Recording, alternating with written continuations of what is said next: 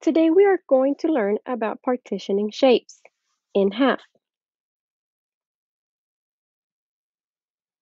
Today we are going to partition shapes in half. Uh, partition? Half? What is that? Don't worry, I'll let you know exactly what that is. Let's talk about these words first. To partition means to divide or to cut. Half means having two equal parts. Every shape or item is a whole. Here you have a triangle, a square, an oval, a hexagon, and a trapezoid. Whole means that they are not cut in any way, shape, or form.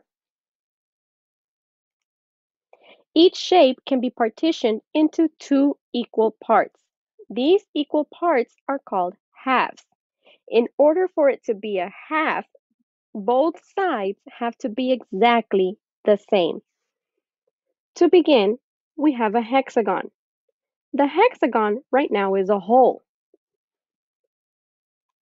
Now my hexagon is cut in half. It has two equal parts. My next shape is a circle. Right now my circle is a whole. But when I cut it, it is now in half. It has two equal parts.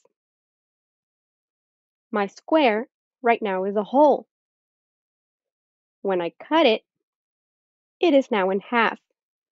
It also has two equal parts. And finally, the triangle is a whole, but once I cut it, it has two equal parts, and now it is in half.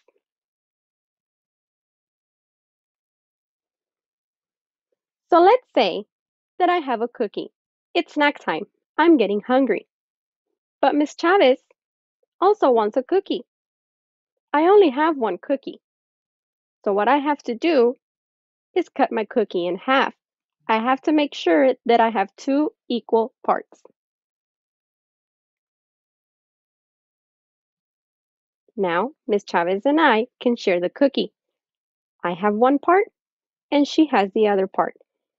We cut the cookie in half, in two equal parts. Now it's your turn. Look at the shapes that have been given to you. Partition the four shapes in half. Make sure that when you draw the line for them to be in half, that both sides are equal. Good luck!